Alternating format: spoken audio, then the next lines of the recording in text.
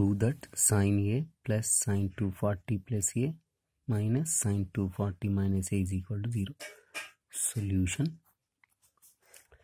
Now write down the given data sin A plus sin of 240 plus A minus sin of 240 minus A. This is LHS value. Observe these two. This is sin of A plus B minus sin of A minus B formula.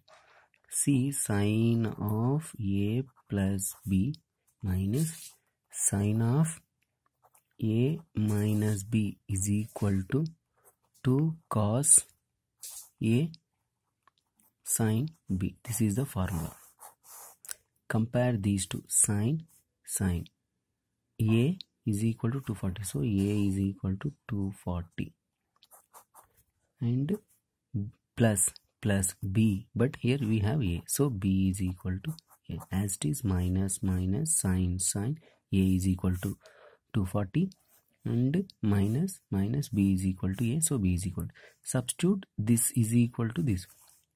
That is equal to because first of all it has sine A plus this instead of this we can substitute the formula.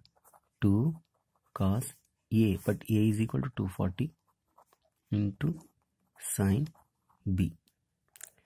Here B is equal to A so B is equal to A. That is equal to sin A plus 2 into cos 240 is minus 1 by 2 into sin A.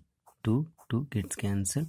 Next sin A plus into minus minus 1 into sin A is sin A. Sin A minus sin A is equal to 0 therefore sin A plus sin of 240 plus A minus sin of 240 minus A is equal to 0 hence it is proved